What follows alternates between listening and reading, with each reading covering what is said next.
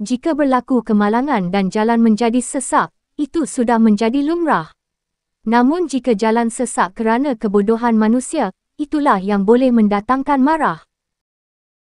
Demikianlah halnya yang berlaku di dalam video ini, apabila jalan raya yang selalunya tenang, secara tiba-tiba berubah menjadi sesak pada hari tersebut.